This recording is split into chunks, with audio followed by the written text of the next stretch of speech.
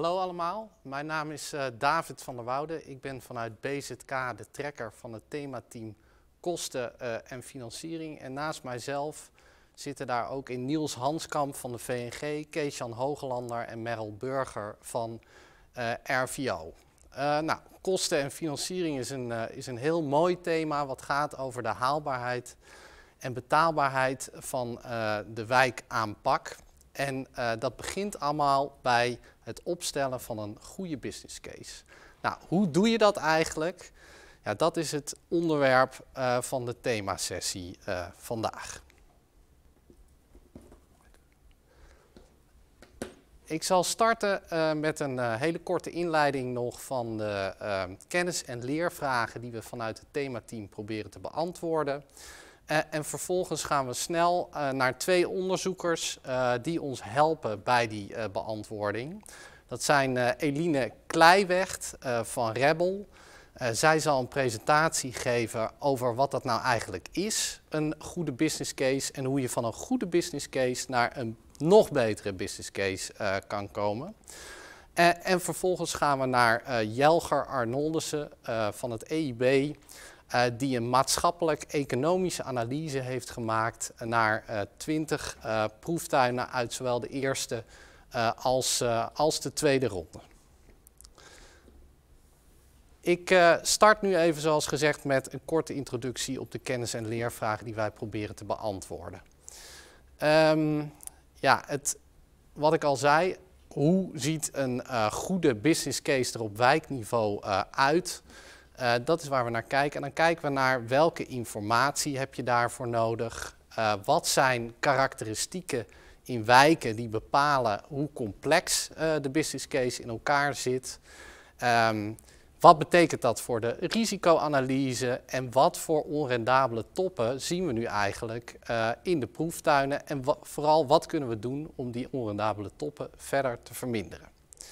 Nou, EIB en uh, Rebel die helpen ons dus bij het beantwoorden uh, van deze vragen met hun onderzoeken. En in die onderzoeken uh, doen ze, vanuit die onderzoeken doen zij ook aanbevelingen voor ons beleid. dus ze doen bijvoorbeeld aanbevelingen over wat, wat voor eisen we nog kunnen opnemen in een volgende uitvraag voor proeftuinen, derde ronde uitvraag proeftuinen. De vormgeving van de verdere uitrol van de wijkaanpak. Uh, wat we nog kunnen doen om uh, bijvoorbeeld via het KLP uh, het komen tot een betere business case beter nog kunnen, kunnen ondersteunen. Dus allemaal ondersteunende activiteiten en ook bredere beleidsaanbevelingen. naast dat thema van die goede business case en kennis- en leervragen daarover uh, laten we ook nog een expertteam kijken uh, naar de investeringsbereidheid bij de particuliere uh, woningeigenaar. Namelijk hoe je die kan vergroten. Dat is een hele ingewikkelde groep, de meest ingewikkelde en diverse groep binnen de wijken. En ze kijken onder meer naar nieuwe financieringsvormen, garanties, wat die kunnen bijdragen.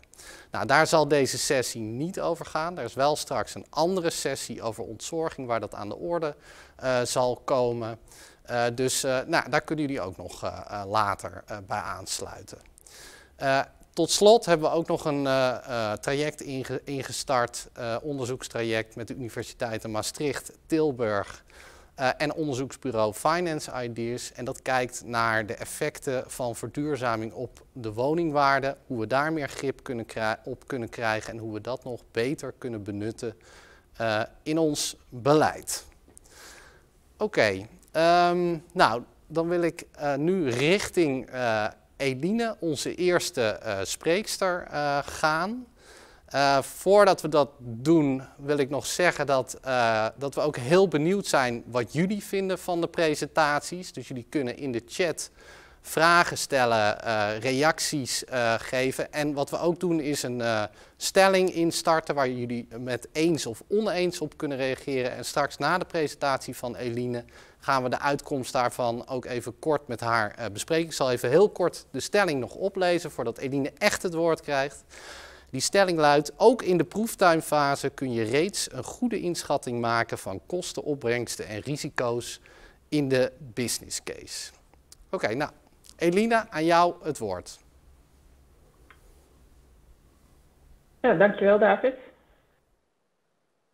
Uh, als het goed is, komt zo mijn presentatie in beeld. Wat, David heeft mij al even voorgesteld. Ik werk bij de Rebel Groep. Een uh, Rebel is een financieel-economisch en strategisch adviesbureau. En wij doen veel in warmte- en aardgasvrije transitie. Dat doen we zowel beleidsmatig, dus uh, de, de opdracht die we nu eigenlijk voor um, BZK doen. Um, maar we helpen ook bij het opstellen van business cases, begeleiden van aanbestedingstrajecten of, het, uh, of in onderhandelingen in de volle breedte. Uh, de vraag die aan ons is gesteld door BZK is om te toetsen um, hoe uh, de, de toegekende proeftuinaanvragen in de tweede ronde scoren op financieel-economische factoren. Dus op business case, op risico's, op commitment van partijen om te investeren, maar ook op een projectaanpak. Um, nou, de, de, onze resultaten uit dat onderzoek laten eigenlijk zien dat er nog veel te verbeteren is op die, die financieel-economische factoren. Um, onze bevindingen zijn dat daar bij de meeste proeftuinen nog fors werk aan de winkel is om richting realisatie te gaan.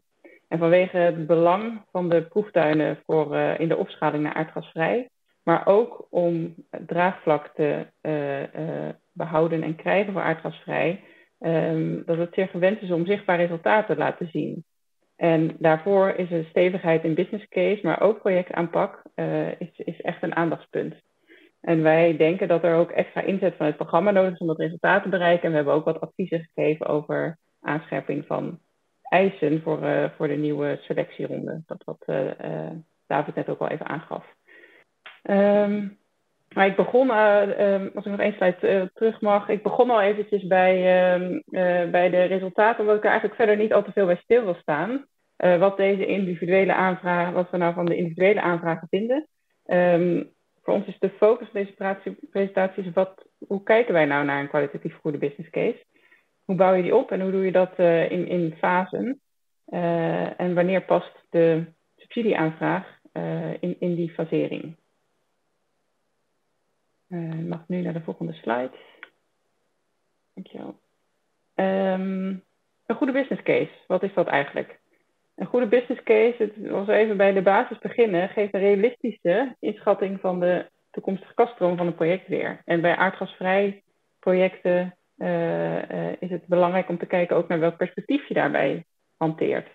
Um, bij voorkeur kijk je daarbij naar een integraal perspectief. Als je het over bijvoorbeeld warmte hebt, dan heb je te maken met een bron, met infrastructuur en met afnemers. En keuzes die je in een van die rollen maakt, hebben invloed op uh, de rest van de business case. Keuzes die je maakt in woningen om verder te isoleren, hebben impact op, uh, uh, op de business case voor de bron en het netwerk. Dus de voorkeur is de business case bij de start integraal, zodat je die afweging kunt maken. Um, en als je dan kijkt naar wat zit er dan in zo'n business case, dus welke, welke kaststroom hebben we het dan over? uh, gaat het om uh, investeringskosten. Dat zijn onder meer graafwerkverleidingen, de materiaalkosten, aanpassing van woningen. operationele kosten hebben we het over kosten voor opwek van warmte, onderhoud en dienstverlening. Denk aan de klantservice. En bij de inkomsten hebben we het over vermeden kosten. Dus de kosten die afnemers besparen op, op alternatieve warmtevoorzieningen. nu veelal gas. Maar met een goede business case zijn we er nog niet. Eigenlijk alleen de inschatting van de kaststromen zijn we er nog niet. Want een, uh, een nog betere, een betere business case houdt ook rekening met risico's. Risico's zijn een heel belangrijk onderdeel van je business case. Omdat ze nu eenmaal invloed hebben op de uitkomst. En ze beïnvloeden ook de waardering van je project, of iets rendabel is of niet. Als je kijkt naar om het iets concreter te maken wat voor risico's we het dan over hebben en hoe die invloed hebben op de business case. Um, uh, dan zie je bijvoorbeeld um, als het aansluittempo tegenvalt. Dus als je kijkt naar een warmtenet en je verwacht dat volgend jaar al de eerste aansluitingen komen, dat je daarmee al inkomsten gaat genereren, maar dat valt tegen. Dat gaat dus over drie jaar. Dat heeft een flinke impact op je business case. investeringskosten kunnen stijgen. Nou, daar kun je in je business case al rekening mee houden door een post onvoorzien op te nemen. Uh, de afzet van warmte kan tegenvallen omdat, uh, omdat woningen uh, geïsoleerd worden. Dus dat ik in het vorige zei, dat, dat is ook de afweging binnen die keten. De afweging tussen afnemers en, en de business case van een netwerk en van bron. deze risico's kun je inschatten en kun en moet je ook waarderen in je business case om een goede inschatting te kunnen maken van je project. Een nog betere business case, want ook met die risico's alleen zijn we er nog niet, uh, kun je ook gebruiken om je project te optimaliseren. En um, dat kun je uh, doen zodat je uh, de, de, haalbaarheid van je project verbetert. Dus denk aan timing. Kun je de fasering van aanleg van je, um, van je infrastructuur, kun je die beter afstemmen op wanneer je woningen aangesloten krijgt, zodat je de inkomsten ook sneller erachteraan krijgt. Um, kun je inkomsten stabiliseren met bijvoorbeeld een afnamegarantie. Um, je kunt je zelfs voorstellen dat je gebouwmaatregelen, isolatie alvast doet om ervoor te zorgen dat je meer zekerheid hebt over de afname, omdat die dan niet over vijf of tien jaar uh, gaat plaatsvinden. Um, en het is belangrijk om inzichtelijk te maken wat je, uh, um, wat je dus om scenario's te maken, zodat je kunt zien, um, um, als ik nu, uh, of kun je afwegingen maken tussen welke scope je voor kiest. Kies je voor een kleinere scope met beperkte investeringskosten uh, en, en minder grote omvang, maar daardoor beperkte risico's, of kies je voor een grotere scope met meer onzekerheden, maar wat levert dat dan in totaal op? Ik naar de volgende slide. De beste business case uh, laat ook de gevolgen zien van financiering. Dus in, in die, die uh, fase hiervoor neem je wel, maak je wel een aanname over wat je financieringskosten zijn, maar dat is een versimpelde aanname. En uiteindelijk moet je ook toe naar de wijze van financiering van je project. Dus dan kun je denken aan de lening of inzet van eigen vermogen en wat dat dan oplevert. Um, nou begonnen we uh, met een integrale business case. En in deze fase heb je, maak je, maakt iedere partij ook een eigen business case, omdat de financiering uh, per partij kan verschillen. Uh, denk aan projectfinanciering die je voor een warmtebron, een geothermiebron realiseert, maar financiering door een woningcorporatie zelf als het om de aanpassing van woningen gaat. Of financiering door een energieleverancier die zelf de infrastructuur aanlegt.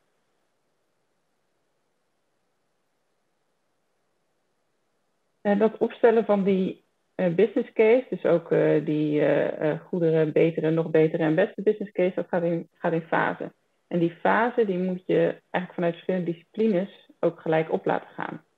Ik, heb, ik zal je focussen op het financiële, um, de financiële stroom.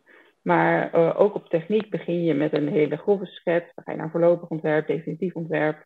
Uh, en, en zo kun je ook uh, de, de business case opbouwen. Je begint met eigenlijk achterkant van een uh, sigaar of achterkant van een in een, in, in een hele vroege fase. Dat um, um, kan je benoemen we hier als omgevingsscan. Dus je kijkt van nou wat is er nou haalbaar? Is hier überhaupt een project van te maken? Um, vervolgens ga je in de verkenningsfase ga je uh, een business case opzetten. Kijk je naar de kaststromen, dus die goede business case. Op basis van die kaststromen kun je kijken um, um, welke scope kansrijk is. Of je te maken hebt met een onrendabele top, of dat je uh, project wel uh, um, rond kan, kunt krijgen. En in de volgende fase ga je verder verdiepen. pak je de risico's er ook bij. Dus uh, de, de waardering van risico's die ik net benoemde, neem je dan ook mee in je business case. Je weet dan of je project levensvatbaar is. je spreekt met partijen af onder welke voorwaarden ze mee willen investeren. En in fase 3, oh, mag nog een slide terug? in fase 3 ga je verder optimaliseren um, en um, financieringsconstructies uitwerken. Dus dat zijn de nog betere en de beste business case. Deze fases moeten gelijk oplopen met andere disciplines. Ik noemde net al eventjes het voorlopig ontwerp en definitief ontwerp wat je bij technieken hebt. Um, maar je kunt je voorstellen dat op het moment dat je voor techniek hele uh, gespecificeerde ramingen hebt, met bijvoorbeeld een uh, 5% nauwkeurigheid, terwijl je op financieel vlak nog uh, maar met een hele grove inschatting van basering en van risico's bezig bent, waarmee uitschieters van 10, 20% nog mogelijk zijn, uh, dat dat niet uh, voldoende gelijk opgaat. En je misschien al meer inzet hebt tot een techniek die uiteindelijk toch anders gaat uitpakken vanuit het risicoaspect. Dus dat je die misschien pas, dat, dat het gaat over woningen die je misschien pas beter op een later moment kunt aansluiten. Dus dat bedoelen we met, er moet in die fasering moet er een balans zijn tussen wat je op die verschillende disciplines doet. Ja, en waar, hoe valt dan die subsidieaanvraag van de, sorry, mag ik nog één terug? die subsidieaanvraag voor eh, PAW, eh, uh, maar bijvoorbeeld ook de SDE, die zit eigenlijk na fase 2. Dus bij de verdiepingsfase, daar heb je een voldoende inschatting van of je project levensvatbaar is. Daar heb je inschatting van een onrendabele top. En daar kun je dus ook een inschatting maken van hoeveel subsidie je nodig hebt vanuit verschillende subsidiebudgetten. En wat wij zagen, dus dan nog even goed teruggrijpend op onze eerste bevindingen, was dat eigenlijk de business cases nog een fase daarvoor zaten. En vanuit maatschappelijk perspectief is dat um, nou, wellicht niet helemaal wenselijk, omdat je die subsidie wil stoppen in projecten die ook uiteindelijk daadwerkelijk tot realisatie komen. Mag ik naar de volgende slide? En een uh, proeftuin um, wil, hoeft daarbij niet te betekenen dat je helemaal het wiel opnieuw moet uitvinden. Er zijn natuurlijk lessen die je uh, gaat leren en dingen die je opnieuw, opnieuw moet gaan leren. Maar er zijn ook wel tal van ervaringen met aardgasvrij business cases waar je op, op voor kunt bouwen. Dus in die eerste fase is natuurlijk sowieso veel ervaring ook vanuit de eerste ronde proeftuinen, waar de tweede en straks ook mogelijk de derde proeftuinen gebruik van kunnen maken. Maar ook um, uh, in de realisatie, of eigenlijk, er zijn ook wel diverse uh, aardgasvrij projecten, ook al heten ze toen misschien nog anders, in het verleden gerealiseerd, waar je op voort kunt bouwen. Denk aan uitbreiding van bestaande warmtenetten. Ehm, van oudsher kennen steden als Rotterdam, Amsterdam, Utrecht, maar ook Purmerend natuurlijk al warmtenetten waar veel kennis over is. Um, we zijn de afgelopen jaren ook nieuwe warmtenetten ontwikkeld. Dam, Nijmegen, Hengelo. Soms gaat dat ook over uitbreiding, soms gaat het ook echt over nieuwe netten. Er zijn al aquathermie-projecten gerealiseerd. En er zijn ook geothermie-projecten gerealiseerd. Um, denk bijvoorbeeld bij tuinders. En hoewel dat een andere situatie is, zijn er nog steeds wel dingen die je ervan kunt meenemen. Om even op dat laatste voorbeeld in te gaan, dus over geothermie-projecten. Uh, wat je daarvan zou kunnen meenemen, ook al is het een andere casus, is bijvoorbeeld hoe zij omgaan met risico's. Dus bij een uh, kun je bijvoorbeeld uh, projectfinanciering ophalen. En daarbij moet je heel goed kijken naar hoe je met risico's omgaat. Um, en de belangrijkste risico's bij een geothermieproject zijn nou, dat de warmte in de bron tegenvalt, want dat weet je niet van tevoren hoeveel warmte daarin zit, exact in zit. Uh, en dat um, de opbrengst tegenvalt, oftewel dat uh, afname minder wordt. Nou, en in zo'n project, als je wat meer richting die, die rechterkant van de fasering komt, waar je dan naar gaat kijken, is hoe kunnen we nou die risico's, die twee belangrijkste risico's, en er zijn natuurlijk nog wel veel meer, maar hoe kun je die nou op een goede manier verdelen? zodat je ja, je meer zekerheden in je business case geeft. En dat je daarmee ook uh, um, banken gerust kunt stellen dat zij een, een lening uh, willen verstrekken. Um, nou, omdat het ene risico wat gebeurt als de warmte tegenvalt, nou daar zijn warmte in de bron tegenvalt, daar zijn verzekeringen voor. Daar heeft het Rijk ook een speciale verzekering voor. Daar betaal je een premie voor, maar die kun je opnemen in je business case en daarmee heb je meer zekerheid. En aan de andere kant heb je wat gebeurt er als de afname tegenvalt, als er minder afnemers zijn. Daarvoor kun je afspraken maken over warmtegaranties die je dan in die fase 3 kunt vastleggen. Uh, en zo kun je dat eigenlijk ook aan de hand van meerdere scenario's kun je dat doen en kun je um, um, nou, kijken welke zekerheden je kunt vastleggen voordat je verder gaat naar de volgende fase. Nou, dus even om een voorbeeld te geven van zaken waar je aan moet denken in een business case. En dat was natuurlijk een hele korte tijd in een vogelvlucht er doorheen. Ehm, ik denk dat er, nou, ook in relatie tot onze bevindingen, dat hier nog veel in te halen is en veel in te leren is. voor, op basis van ervaringen die al zijn gedaan. En dat is dan uh, mooi, denk ik, ook een thema voor het uh, programma. En uh, misschien specifiek voor het KOP om de komende tijd mee aan de slag te gaan. Oké, okay. Eline, dankjewel. Ja, op de chat hebben we diverse vragen langs, langs zien komen. en natuurlijk ook de stelling. voordat we daarop ingaan, wil ik even aangeven dat de slides die waren geloof ik niet altijd even goed zichtbaar bij de mensen thuis. Maar die worden nog wel beschikbaar gesteld. Dus die kunnen jullie na de hand nog nauwgezet bestuderen. Um, even kijken, dat gezegd hebbende. Misschien kunnen we als eerst even naar de uitslag van de poll gaan. Met de stelling, nou, ik zie dat bijna 80% is het ermee eens dat je ook in de proeftuinfase al goede inschatting kunt maken van kosten, opbrengsten en risico's. Uh, nou, Eline, volgens mij is dat, een, uh, is dat een heel mooi teken. Dat de meeste mensen denken dat dat, dat dat kan. Want dat betekent dat ze naar een betere business case al kunnen, toch? Ja, dat denk ik ook. Um, en, en ik denk dat je uh, daarbij ook goed gebruik kunt maken dus van die ervaringen die ik aan het einde noemde. En um, uh, ik ben nog wel benieuwd waar de 20% die het er dus niet mee eens is, waar zij dan nog bottleneck zien. Uh, maar misschien komt dat nog in de vragen. nou goed, we gaan de chat ook nog uitgebreid bestuderen na afloop. Dus daar, daar gaan we nog, nog op terugkomen. ik zal even naar de vragen die er gesteld zijn kijken. We hebben nog tijd, denk ik, voor twee vragen ongeveer. Eén vraag die gesteld werd was, uh, ja, hoe voorkom je eigenlijk dat de rentabiliteit van een warmtenet ten koste gaat van isolatie van gebouwen? Dus dat gaat eigenlijk over de balans tussen verschillende nou ja, ingrepen, technieken, uh, verschillende plekken ook binnen die wijk.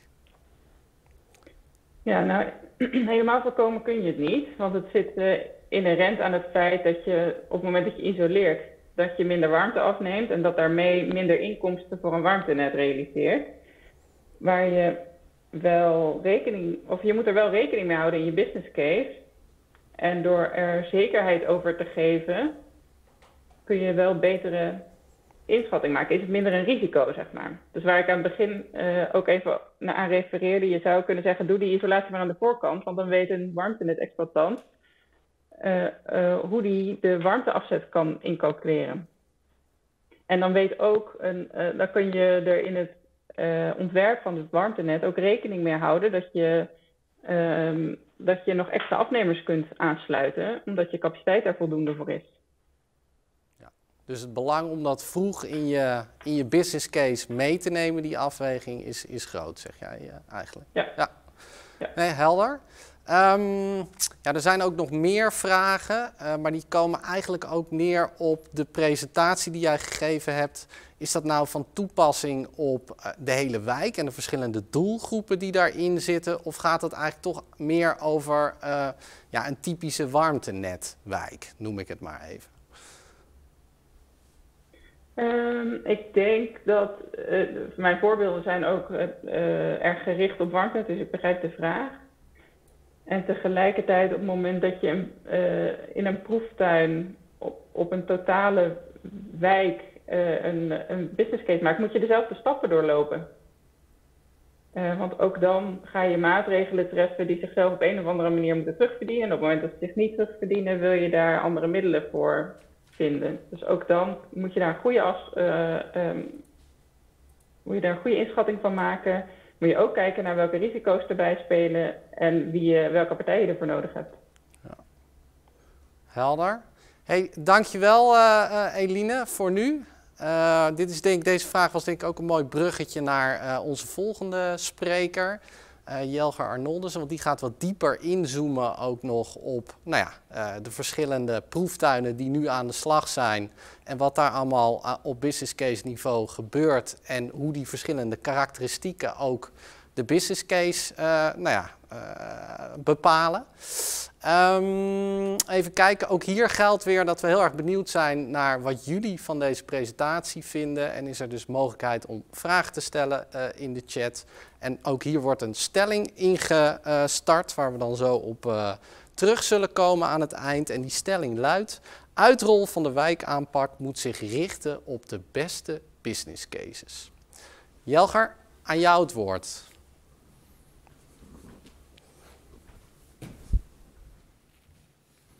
Dankjewel, David. Um, ik zie mijn slides niet op beeld. Ja, nu wel. Helemaal goed. Uh, goedemiddag allemaal thuis. Um, het is wat anders, een presentatie geven op deze wijze. Maar uh, desalniettemin uh, denk ik dat ik jullie wel een interessant verhaal kan gaan vertellen. Mijn naam is Jel Granoldersen. Ik ben senior onderzoeker bij het Economisch Instituut voor de Bouw wij doen uh, economische beleidsanalyses in de bouw en de gebouwde omgeving. Um, en eigenlijk net zoals wat Eline net aangaf, heeft um, het ministerie van Binnenlandse Zaken ons gevraagd om te kijken naar een aantal proeftuinen. ik pak even de klikker erbij. Um, de proeftuinen in beeld. Naar welke proeftuinen hebben wij gekeken? We hebben uh, in totaal 20 proeftuinen geanalyseerd. Die 20 proeftuinen uh, beslaan 13 proeftuinen uit de eerste tranche. Dus die zijn in 2018 begonnen. En 7 proeftuinen uit de tweede tranche. Die zijn begonnen uh, in 2020. Kortom, daar is niet heel erg veel ervaring nog over op te halen. Daar hebben we vooral naar de plannen gekeken en ook weer naar de business cases. Um, Verder uh, in die 20 proeftuinen zaten 12 warmtenetten, 3 all-electric proeftuinen en uh, eh, 5 groengas, waarvan 2 waterstof. Nou, bij die laatste denk ik dat we uh, sowieso redelijk kunnen stellen dat um, daar niet al te veel over bekend was. Ook in de business cases zie je daar terug dat er nog wel wat onzekerheid is omtrent waterstof. Um, en per saldo zou je dus eigenlijk wel kunnen zeggen dat uh, zowel de aanvragen uh, die binnen zijn gekomen voor de subsidie bij het ministerie als bij de uh, proeftuinanalyse die wij, de proeftuinen die wij hebben geanalyseerd, een um, oververtegenwoordiging, dat is misschien een beetje een groot woord, maar in ieder geval een aanmerkelijk aantal warmtenetten was, was opgenomen. Um, wat ga ik vandaag aan jullie vertellen? ik ga drie vragen in. Ten eerste, wat is de stand van zaken in deze proeftuinen? Ten tweede, welke organisatorische en financiële kwesties spelen in de proeftuinen? En ten derde, welke lessen kunnen we nou eigenlijk uh, leren van die uh, analyses die wij hebben gemaakt? Uh, waarbij ik ook specifiek wil kijken of ik kan ingaan voor, op lessen die met name voor, voor jullie thuisstuk interessant zijn. Um, als we beginnen met, bij het begin, dat is namelijk wat waren de proeftuinen van plan en waar staan zij nu? Dan is dit het algemene beeld. Um, links de proeftuin, dan de techniek. Dan uh, de uh, projectomvang volgens de aanvraag. Dus hoeveel woningen zouden uiteindelijk aardgasvrij gemaakt worden. Vervolgens hoeveel zouden er op dit moment ongeveer aardgasvrij zijn. En hoeveel zijn er uiteindelijk opgeleverd. Nou, wat uh, zie je hierin terug? Dat acht van de dertien proeftuinen eigenlijk van plan waren om op dit moment al aardgasvrije woningen opgeleverd te hebben. Um, Vier uh, proeftuinen hebben uiteindelijk daadwerkelijk aardgasvrije uh, woningen opgeleverd. Uh, kortom, daar loopt men toch nog wel achter op, op het schema. Als we nou kijken naar de proeftuinen die daadwerkelijk woningen hebben opgeleverd, dan zijn het vaak ook minder woningen dan ze van plan waren om, om op te leveren. Uh, en dan nog uh, één andere kritische kanttekening. Als je kijkt naar de uh, woningen die zijn opgeleverd, een beetje onderin dit schema, in Purmerend en in Assen. Voor Purmerend geldt dat een aanzienlijk aantal van die 411 opgeleverde woningen, dat dat woningen waren die eigenlijk alleen van het kookgas afgekoppeld moesten worden en verder al wel op het warmtenet aangesloten waren. Kortom, waarvan het relatief eenvoudig was om die aardgasvrij te maken. En de 28 woningen die in Assen aardgasvrij zijn gemaakt. Um, die hingen samen met een flat die al in ontwikkeling was voordat de proeftuinaanvraag was ingediend. En waarvan maar een klein deel van die PHW-subsidie uiteindelijk is gebruikt om dat project af te ronden. Maar dat was dus eigenlijk iets wat al gaande was op het moment dat die proeftuin werd gestart.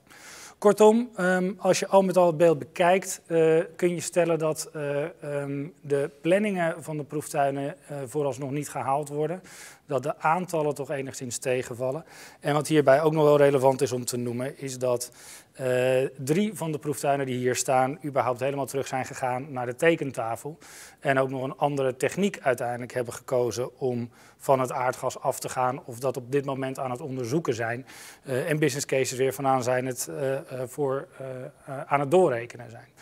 Kortom, de proeftuinen komen wat hobbels tegen. Ehm, en wat zijn die hobbels dan? Ehm, wat we hebben gedaan is gekeken naar de knelpunten die ervoor zorgen dat die proeftuinen uh, moeilijk of vooralsnog geen woningen realiseren. En eigenlijk vallen die knelpunten die vallen, uh, te categoriseren in uh, vier elementen. Te weten de techniek, marktordening, marktorganisatie, juridisch en draagvlak. Nou is het zo dat deze knelpunten enigszins met elkaar samenhangen. Um, dat de scheidslijnen ook niet helemaal zwart-wit gezien moeten worden. Dat, het, dat er ook enige mate van, van inschatting is uh, hoe ernstig een knelpunt nou is. Uh, maar als je door de ogenharen heen kijkt, is dit het beeld wat wij, uh, wat wij op hebben gehaald uit de proeftuinen, de 13 proeftuinen van de eerste tranche. Um, om te beginnen met de, de, de, technische knelpunten die zich voordoen. Um, we hebben er vijf uiteindelijk als ernstig geclassificeerd, waarvan we denken daar is toch wel sprake van problemen bij de technische uitrol van, uh, van het plan. Um, zoals eerder gezegd, drie van de proeftuinen die hebben überhaupt afscheid genomen van de techniek die ze van plan waren om toe te passen. Dus dat zou je als uh, uh, ernstig kunnen, kunnen bestempelen. En verder is het zo dat er vaak ook gewoon sprake is van het feit dat de keuze voor de techniek nog extra uitwerking en expertise nodig heeft. Dus dat er uh, aanvullende informatie nodig is voordat de techniek daadwerkelijk uitgerold kan worden. Verder speelt ook een, een, een, rol dat bij warmtenetten bijvoorbeeld het onduidelijk is wat men in, onder de grond tegenkomt. Dat er vertraging uh, optreedt op het moment dat blijkt dat uh, uh, de ondergrond heel vol is, dat de ondergrond vervuild is. en op zo'n moment zorgt eigenlijk de gekozen techniek, in dit geval dat een warmtenet ervoor, dat de uitrol ingewikkelder wordt. Um, verder is uh, in een van de proeftuinen was een plan gevat om uh, cascadering toe te passen. Dus om uh, woningen met slechte energielabels te voorzien met de hoogste temperatuur warmte en vervolgens de betere labels met lagere temperaturen van dezelfde, vanuit hetzelfde warmtenet te kunnen verwarmen. Dat bleek door een grotere differentiatie in de wijk qua labels dan wat voorspeld was niet mogelijk. Dus ook hier liep men tegen knelpunten aan. Um, bij groen gas is het bijvoorbeeld zo dat de um, logistiek van de grondstoffen lang nog niet altijd helemaal op orde is. Uh, en dat ook niet goed duidelijk is hoe dit opgelost gaat worden. En ook dat hangt natuurlijk weer samen met de techniek. Verder is het zo dat er ook vaak qua uh, techniek, en dat hangt ook weer een beetje samen met de marktordening bij warmtenetten, uh, dat de rijkwijde van het warmtenet een rol speelt. Dus eigenlijk wat net ook al aan de orde kwam, op het moment dat je veel isoleert, uh, um, kan je minder warmte afzetten per saldo als, als warmtebedrijf. Ja, en dat, dat beïnvloedt dus weer de business case voor, voor het warmtebedrijf zelf.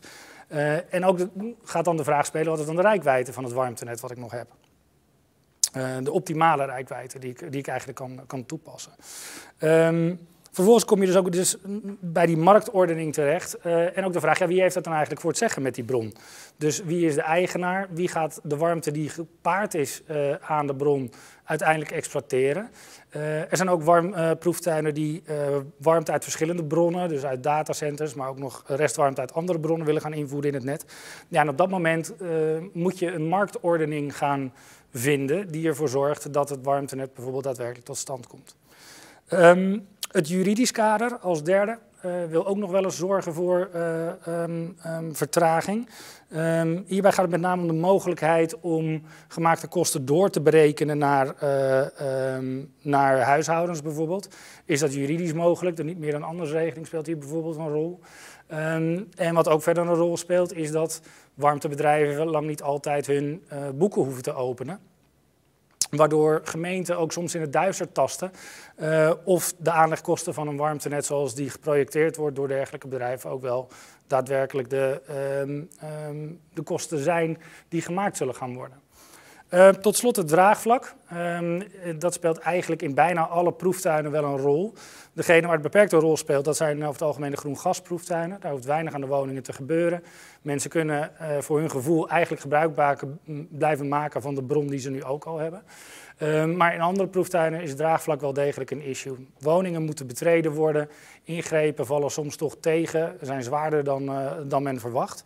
Um, daarbij uh, uh, is het ook zo dat mensen aangeven dat ze toch vrezen dat ze niet meer kunnen kiezen welke warmteaanbieder ze hebben als ze aan dan wel groen gas, dan wel aan, aan warmtenetten moeten, hoewel dit bij warmtenetten dus meer speelt.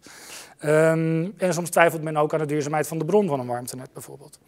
Um, per saldo zou je kunnen stellen dat dat draagvlak van een groot punt is. En dan heb ik het nog niet eens vooralsnog over de uh, rol van de financiën in het draagvlak. Want ja, hoe meer mensen moeten bijdragen, hoe groter onrendabele delen van de investering, hoe moeilijker het is om dat los te krijgen. Gaan we vanaf dat, dat draagvlak en die investering ook naar de begrote kosten uh, van de wijkaanpak. Wat u hier ziet is de uh, kosten zoals wij die hebben opgehaald per woning vanuit de, de um, proeftuinaanvragen. Waarbij wij zelf ook hebben gekeken naar zaken als proceskosten en um, um, en investeringskosten. En op het moment dat we dachten, ja, dat, dat, daar, dat weten we wel vanuit interviews, maar dat zit niet in de aanvraag, hebben wij dat meegenomen. Maar verder is het in principe gebaseerd op de proeftuinaanvragen. Uh, de donkerblauwe bollen links, dat zijn de all-electric uh, bolletjes. Um, daarnaast groen gas, in het midden eigenlijk het grote deel rood warmtenetten. En rechts de waterstofproeftuinen. Uh, en de geel omcirkelde proeftuinen, dat zijn de tweede tranche, de tweede tranche proeftuinen. Nou ja, wat valt hierop? Uh, dat de kosten van all-electric proeftuinen gemiddeld gezien uh, het hoogst liggen. Ik denk dat dat niet heel verbaasd, verbazingwekkend is.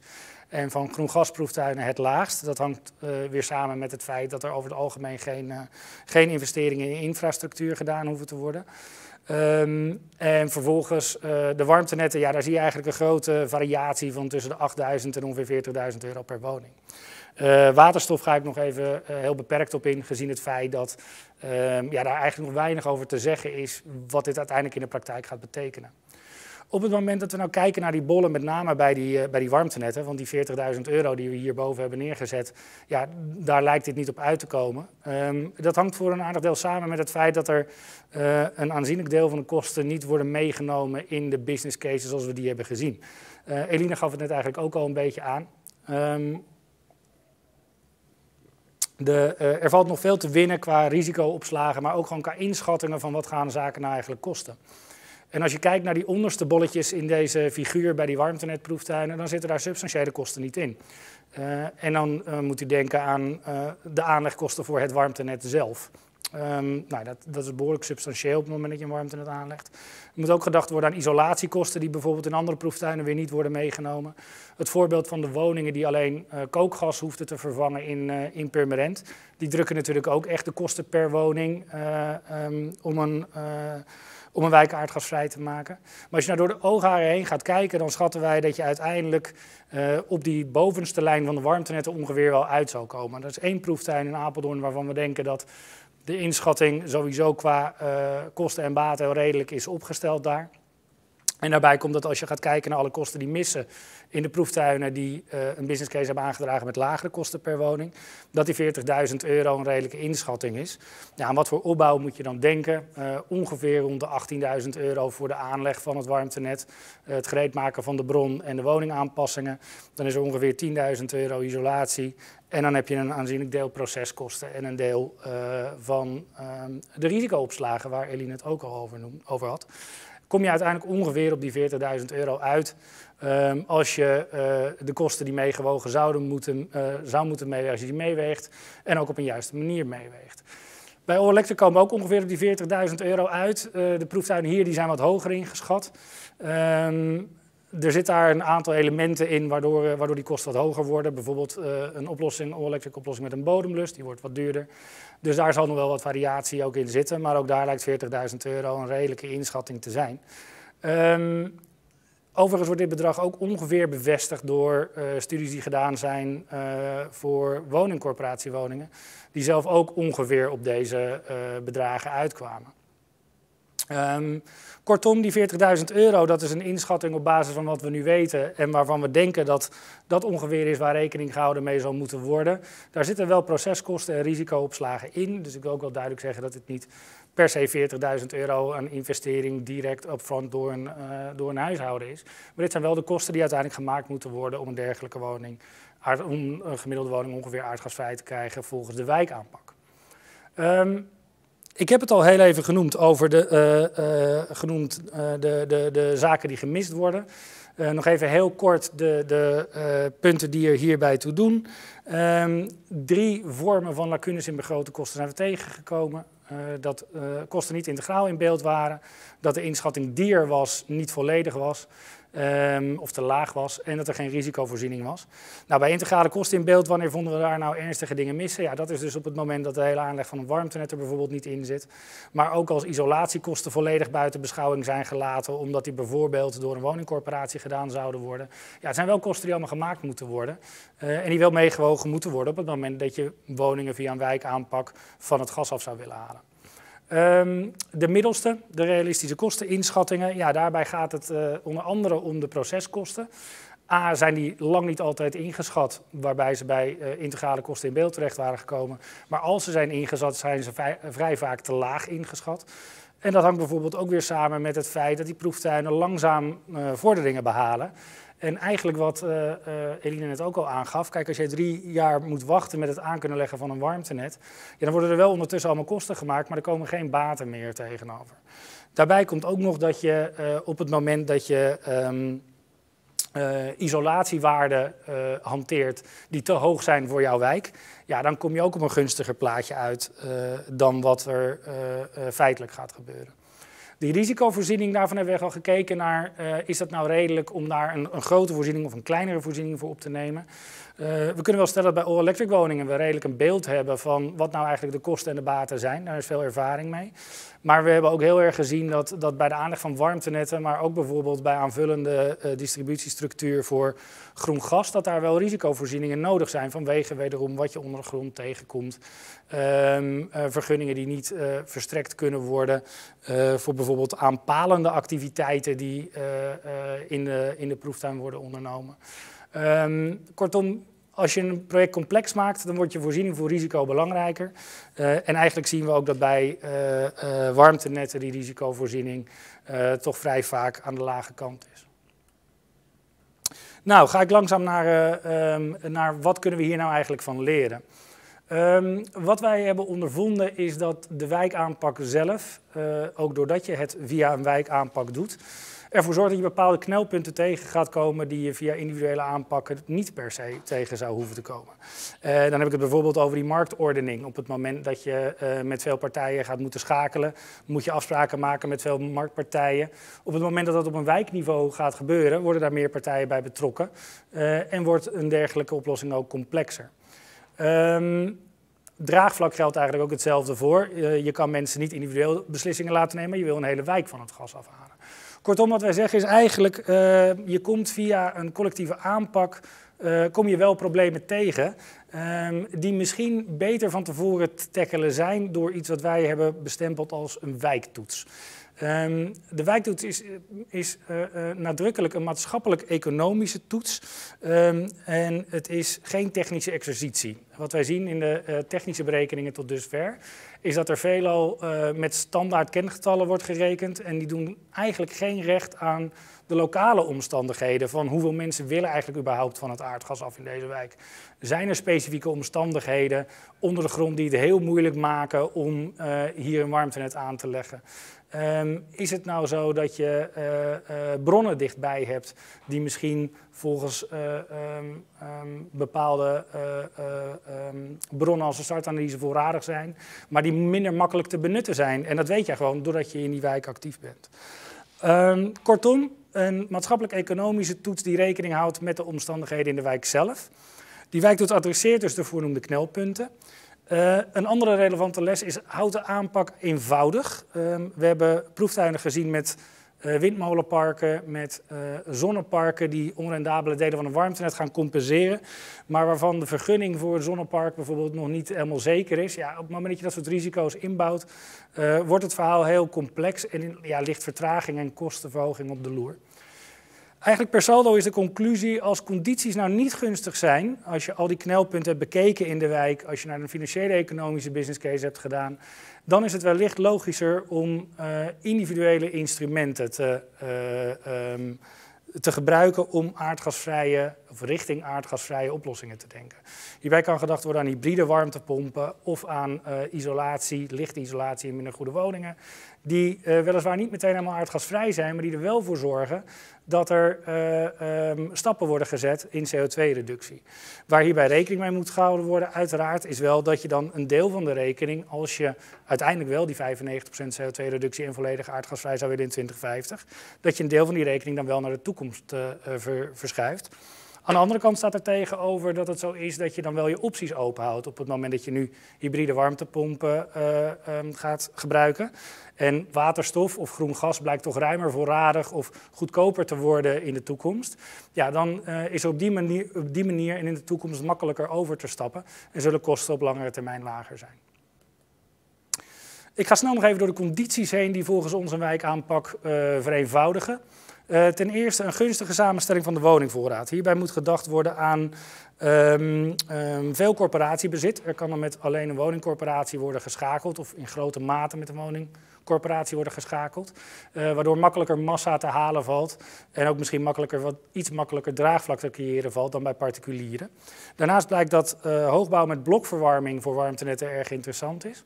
Um, omdat er dan makkelijker collectief verwarmd kan worden en kosten per woning lager zijn. Uh, tot slot, uh, en dat geldt voor alle oplossingen, als er weinig geïsoleerd hoeft te wonen, worden in een wijk, dan maakt dat het makkelijker om een wijk aardgasvrij te maken. Uh, bewezen technieken met bestaande bronnen en infrastructuren, bronnen in de buurt, ehm, technieken die al in de buurt gebruikt worden, instituties die daar zich al gevestigd hebben, dat maakt het allemaal makkelijker om de technische oplossing met meer zekerheid uit te kunnen rollen. Aangaande de markt is al aan de orde gekomen. Open en transparante procespartners zijn hierin relevant, zodat er open ook over risico's en kosten en baten gesproken kan worden. Warmtebedrijven die hun boeken gesloten houden, uh, zijn over het algemeen uh, ingewikkelder om mee te werken en ja, uh, zorgen voor meer onzekerheid in het project. Um, vanuit juridisch aspect beperk gekoppelde activiteiten die vergunningen vergen, eigenlijk net ook al genoemd. Um, en bij draagvlak zou je kunnen zeggen dat inzicht in de mate uh, van betrokkenheid van mensen relevant is. Dus ja, enquêtes van tevoren houden over hoeveel mensen nou daadwerkelijk mee zouden gaan. Ook dat geeft geen uh, zekerheid, geen ultieme zekerheid, maar meer dan gewoon een aanname van bijvoorbeeld 85% zal meegaan. Um, en verder is het voor draagvlak echt essentieel om een ruime mogelijkheid te creëren om bewoners financieel te compenseren. Um, wat we in de proeftuinen zien is dat financieringsregelingen uh, bekostigingsproblemen in het algemeen niet oplossen. Als er onrendabele delen in een investering zitten, kan je mensen een uh, gunstige lening aanbieden, alleen dat lost dat onrendabele deel van die investering niet op. En daarbij blijkt ook duidelijk uit de proeftuinen dat er wel enige mate van leenaversie bestaat in Nederland. Dus het aanbieden van leningen uh, wil niet zeggen dat mensen per saldo meegaan. Tot slot ga ik nog even kort in op de financiën. Um, ik denk dat we duidelijk hebben gemaakt dat um, uh, het aardgasvrij maken van woningen via de wijkaanpak een aanzienlijke opgave zal, zal vormen. Um, de kosten zijn, zijn fors. onrendabele delen zijn zeker ook aanwezig. Dus er zullen voldoende middelen moeten zijn voor alle betrokken partijen, dus netbeheerders, gemeenten, maar ook particulieren, om die transitie te kunnen maken in een collectieve aanpak. Um, gedegen financiële economische analyse van de techniek, inclusief realistische inschatting van kosten, baten en risico's. Ik denk dat Eline daar net een uitstekende presentatie over gegeven heeft. Um, discontovoeten, hanteer realistische looptijden. Um, bedenk ook iets op het moment dat subsidies mogelijk niet over 15 jaar, als er weer investeringen gedaan moeten worden, nog beschikbaar zijn. Dat soort zaken moeten meegewogen worden op het moment dat je een business case opstelt.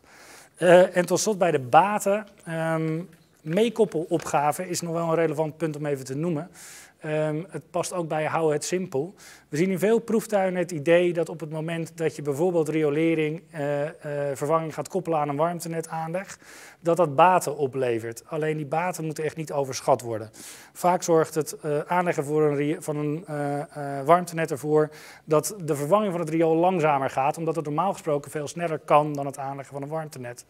En daarbij komt dat je ook rekening mee moet houden op het aandeel van de kosten waar je op bespaart. Ik noem maar wat, als graafkosten nou hetgene zijn waar je op bespaart, die vormen 30% van al je kosten. En door die te kunnen combineren bespaar je daar 10% op, dan heb je het uiteindelijk over een marginale besparing. Dat soort zaken moeten meegewogen worden op het moment dat je het financiële plaatje in beeld gaat brengen. Um, deze resultaten zijn uh, terug te vinden in een rapport dat nog niet gepubliceerd is. Wij zijn van plan daar uh, flink vaart achter te zetten. dan wel morgen, dan wel ergens in de komende dagen zal het rapport op onze website verschijnen. En krijgt u ook meer onderbouwing over de kosten, de baten, de knelpunten en eigenlijk meer achtergrond bij het hele verhaal dat ik zojuist heb verteld. Dank u wel. Mooie presentatie, heel interessant. Um, nou, volgens mij heb je zelf al antwoord gegeven net op een, uh, op een vraag die in het begin het meest gesteld werd, namelijk wanneer het rapport uh, Ja, ja. Dat, uh, nou, daar heb je net duidelijkheid over gegeven. Hè? De ja. laatste puntjes worden nog op de, op de die, die gezet. Ja. Terwijl ik hier en, sta, worden de laatste ja, ja, ja, precies. Precies, ja, precies, precies, Zo gaan die dingen. Ja. Um, even kijken, we gaan even naar de uitslag van de, van de stelling. Prima. Uh, ja, we zien eigenlijk een heel erg verdeeld beeld. Ja. Dat heb jij niet kunnen zien, maar ik wel net op de chat. Dat heeft ook te maken met de vraag van, ja, voor wie uh, is die business case nou eigenlijk? Daar was wat verwarring ja, ja. over. Ja. Uh, dus de beste, voor wie is dat de beste? Ja. Ja, nou ja, die vraag die snap ik wel. Kijk, uiteindelijk zijn dit soort, dit soort vraagstukken... Um, vind ik wel dat, die, dat je die wel met enige macro-economische blik moet bekijken. Dus Kijk, uiteindelijk snap ik dat huishoudens die willen gewoon dat zij niet al te veel hoeven te investeren. Maar dit zijn wel zaken waar verschillende partijen kosten moeten maken, waar baten ergens anders neer kunnen slaan dan bij de partij die die kosten maakt. Uh, waardoor je dit integraal moet gaan bekijken. En vanuit die optiek moet ook eigenlijk, wat Eline net ook al zei, die business case ook integraal bekeken worden. Um, dus voor wie is die business case? Ja, ik zou eigenlijk willen zeggen voor de maatschappij zou die dan het gunstig moeten zijn. Maar eigenlijk denk ik dat het verhaal wat wij net vertelden, uh, of wat ik net vertelde, dat geeft eigenlijk aan, ja kijk, als je, als je echt collectief via wijkaanpakken woningen van het aardgas af wil halen, is het vooral heel relevant om te kijken, ja, zijn die condities in mijn wijk eigenlijk wel van toepassing? Want als ik nou nu al weet dat ik dusdanig veel hobbels tegen ga komen uh, in de oplossing die ik voor ogen heb, ja, dan is het misschien toch uh, uh, een reden om te kijken naar individuele oplossingen in plaats van een collectieve oplossing die meteen voor iedereen moet gelden. Ja, dus op die manier moeten we het beste ook lezen. Je moet eigenlijk ook een goede analyse van die karakteristieken vooraf maken. Ja. Ja. Exact, ja, en, ja, echt een maatschappelijk-economische analyse. niet alleen maar technisch kijken naar wat kost een vierkante meter isolatie, wat levert dat me op de rekening op. Oké, dan moet ik dat doen. Zo simpel is dit probleem gewoon niet. En ik denk dat we dat wel duidelijk hebben naar voren gekregen uit, uh, uit de ja. proeftuinen zelf. En ja, wat je ook ziet in de, in de toch wel beperkte vordering binnen de proeftuinen. Ja. Oké. Okay. Uh, we hebben niet zo heel veel tijd meer, dus ik ga nog even kijken wat voor vragen er nog, nog meer zijn. Ik denk dat we tijd hebben voor één vraag. Dan doen we gelijk maar een beetje een spannende. Hè? Want ja. dat was ook, uh, benieuwd uitgebreid in, het, in het nieuws. Ja. Die 40.000, zeg maar. De vraag die gesteld wordt is hoe zinvol is het om een, ja, een gemiddelde te berekenen, gemiddelde investeringskosten, als die spreiding zo groot is? Um, um, voor u en mij niet, niet zozeer, laat ik het zo zeggen. Um, wel op het moment dat je een beeld wil hebben van het totale plaatje, wat een dergelijke opgave uh, nou met zich meebrengt. Kijk, uh, een gemiddelde uh, hanteer je als gemiddelde om een schatting te kunnen geven van wat ons tussen aanhalingstekens te wachten staat. En dat doe je niet alleen op het moment dat je wijken aardgasvrij maakt, maar dat doe je bij allerlei macro-economische vraagstukken op het moment dat je een beeld wil hebben van een opgave. en dan ontkom je niet aan gemiddelde. Kijk, voor elke woningeigenaar uh, zal de situatie gewoon anders zijn. Want de techniek wordt anders, de uitgangssituatie die is anders, het draagvlak van de persoon zelf kan anders zijn. Dus de impact van een dergelijke opgave en ook de, de consequentie van de kosten die daarmee gepaard gaan, de hoogte die, van de, van de kosten die ermee gepaard gaan, die zullen echt heel erg afhangen van, uh, um, ja, van de situatie waar één persoon in zit. Ja. Maar als je een beeld wil hebben van waar gaan we nou naartoe en wat kost aardgasvrij via een collectieve aanpak nou, ja, dan is een gemiddelde toch wel prettig om mee, om mee te kunnen rekenen, om, om alleen maar een beeld te geven van waar we aan moeten denken. En ik wil hier wel ook duidelijk bij zeggen dat dit, kijk, uh, je ziet dat die vorderingen in die proeftuinen nog niet enorm zijn. En dat betekent dat echt het monitoren, het langer monitoren van die proeftuinen, om meer ervaringsfeiten en empirie op te halen.